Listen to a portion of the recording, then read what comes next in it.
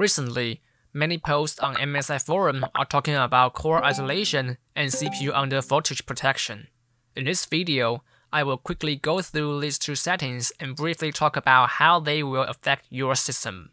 First, you can find core isolation in Windows settings, privacy and security, device security. According to Microsoft, core isolation is a virtualization-based security feature that protects core processes of Windows from malicious software attack. On the core isolation page, you will find memory integrity, which is most likely on by default if you have a newer motherboard with virtualization supported BIOS and Windows 11 operating system. For safety, Microsoft recommends users to turn memory integrity on, but it might cause some side effects such as making Intel Extreme Tuning Utility unusable. MSI Center cannot adjust some CPU-related settings.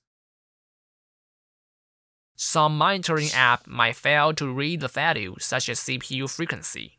Some outdated drivers, especially with old signature, might be blocked and be recognized as a vulnerable driver.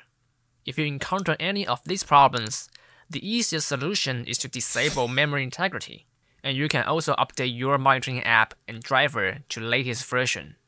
Next, let's talk about CPU under voltage protection. It is a setting that you can find in BIOS Press F7 to enable Advanced View.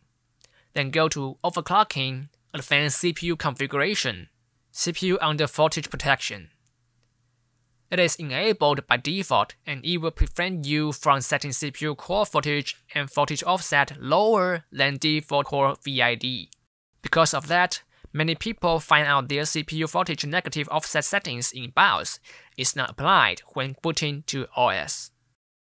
Also, in Intel Extreme Tuning Utility, you can see lightning icons next to voltage control, which means undervolt protection is enabled, and it won't allow you to apply core voltage below default core VID. If setting CPU under voltage protection to disabled, in Intel Extreme Tuning Utility, you can see the lightning icons are gone. And you can undervolt your CPU and apply voltage offset. Another effective setting is CPU ring ratio. If CPU under voltage protection is enabled, CPU ring ratio is limited to by 36 at max. If disabled, then CPU ring ratio can apply user settings and go beyond 6600 MHz ring clock. Here's a quick recap for your reference. Please leave a like if you find this video helpful and subscribe to this channel for more similar content. Thanks for watching. Until next time, bye.